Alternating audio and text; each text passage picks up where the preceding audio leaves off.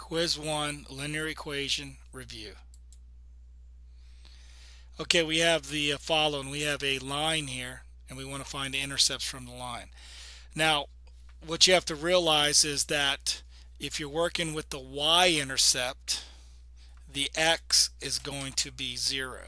So let me write this on top. Let me write, uh, let's see, this is x and this is y. So when working with the y-intercept, we're not talking about the x, we're going to turn the x off and that's going to become a 0. When we're talking about the x-intercept, when we're working with the x-intercept, we're not talking about the y, so we make that 0. So what we want to do now is we want to go to the y-intercept. So this is the y-intercept and it's between 3 and 2. Well, that would be uh, 2.5 because you could take 3 plus 2 is 5. Divide this by 2 is 2.5. So the y-intercept, that is the y-intercept. So the y-intercept we could type in 2.5.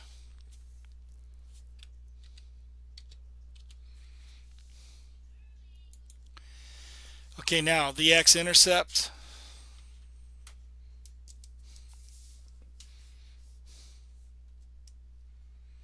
This is my x, and this is going to be between 3 and 4, which is 3.5. So here you take uh, 3 plus 4 is 7.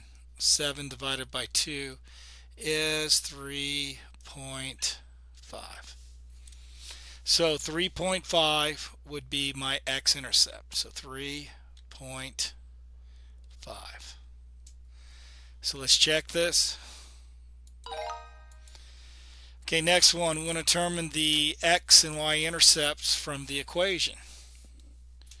So I have the following. I have 4x minus 1 is equal to 3y plus 5. This is my x and this is my y. Okay, the x-intercept. We only want a number for the x. We didn't mention the y. The y is 0. The y-intercept. We didn't talk about the x, so the x is 0.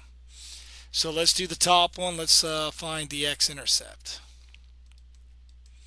So in the x-intercept, the y is 0. So I'd say 4x minus 1 is equal to 3 times 0 plus 5. So 4x minus 1, this is equal to 0 plus 5.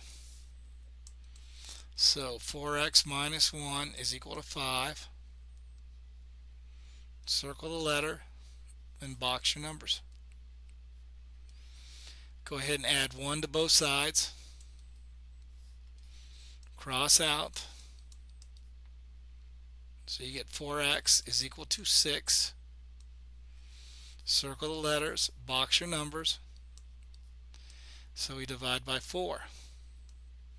Cross out. So x is 6 over 4. Divide by 2. So we get x to be 3 over 2. So the first box we're going to go 3 over 2 as our fraction. Okay, now let's take a look at the uh, next one, the y-intercept. Okay, we're going to use the same equation. 4x minus 1 equal to 3y plus 5. Here we're doing the y-intercept. So the y-intercept, the x becomes 0.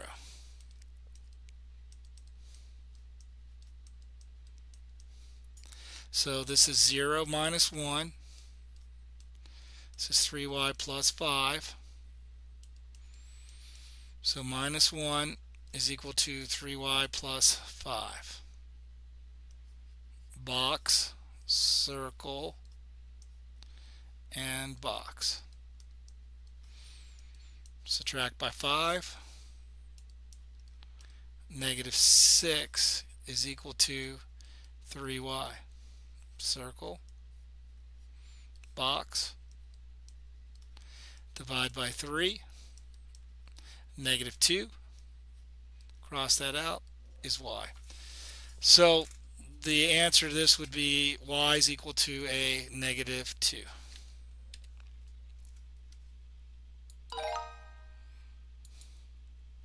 Okay, next question. Want to figure out uh, what's missing in the box. So we have to see what we have. The first one is the x, which we have, and we're missing the y.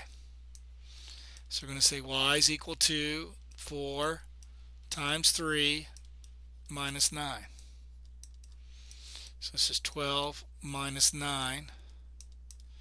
So y is equal to a positive 3 because again I know what the x is I know the x is 3 so put the uh, 3 in for the x do the multiplication and subtract by 9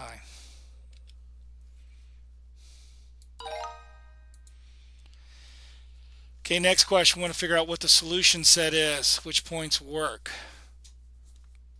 so negative 7 x plus 3y is equal to 2 the point, the first point we want to work with is 1, 3. So there's my x and there's my y.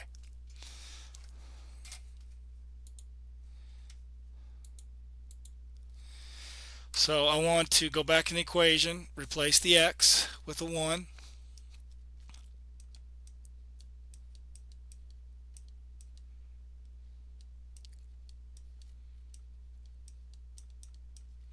So I get negative 7 plus 9 is equal to 2. When I take negative 7 plus 9, that is 2. So 2 does equal 2. So uh, 1, 3 does work. Now before we uh, put that down, let's check the other number.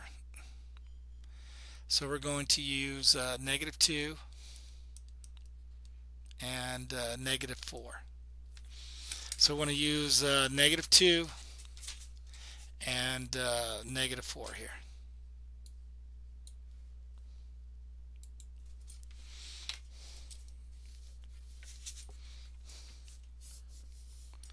So negative 2, negative 4. That's my x, that's my y. So I'm going to say negative 7. So negative 7 negative 2 plus 3 times a negative 4 and we want to see if that equals to 2. So negative 7 times negative 2 is a positive 14. Uh, 3 times, that should be a negative 4 here. That's going to become a negative 12 and compare that to 2. So 14 minus 12 is 2, so I get 2 over 2, so that does match. So both of the points work. So it's going to actually be C. So C would be my answer. Because I have uh, negative 7 times negative 2. So again, I took the uh, negative 7, which is this, so negative 7 times negative 2 plus 3 times the negative 4. So this is the uh, positive 14 and then 3 times the negative 4 is a negative 12. So 14 minus 12 is 2. Okay, we have a table and uh, we want to find what is the x-intercept. So this is my x, this is my y. Since it's the x-intercept, we want to turn the y off. So the y's got to become 0. So we want to make the y go towards 0. So the negative 34 is closer to 0 than negative, uh, 68. So we're going to go uh, negative 79, negative 68, negative 57. Over here I'm going to say negative 68. Uh, this is actually a negative 51 and then a negative 34. There's my x and there's my y. So I want the y's to become uh, 0. So I want the y's to be uh, 0 on this particular problem.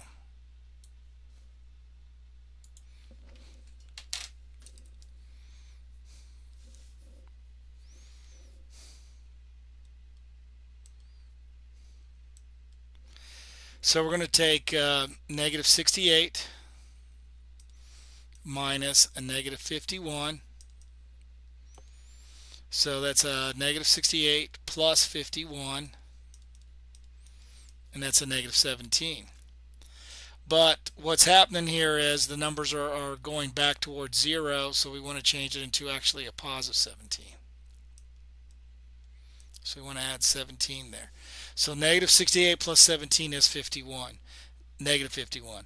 Negative 51 plus 17 is a negative 34. Take a negative 34 plus 17 is a negative 17. Add uh, 17 to the negative 17 and we get uh, 0. So we had to take two steps down. Now as for the x, you got the negative 79 uh, minus a negative 68. So that's a this is a negative 68.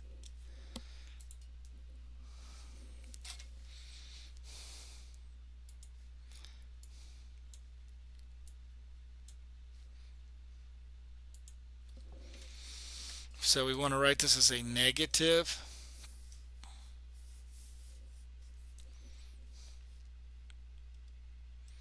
68.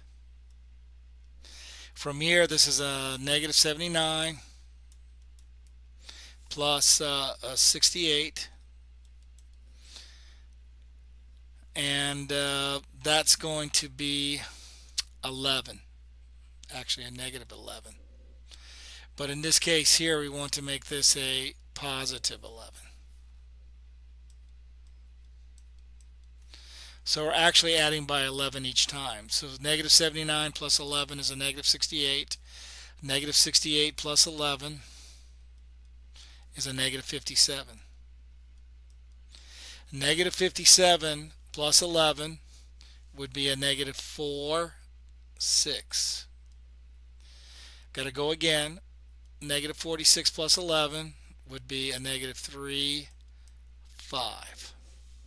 So it looks like uh, since we went uh, two steps down with the plus 11, my answer would be a negative 35.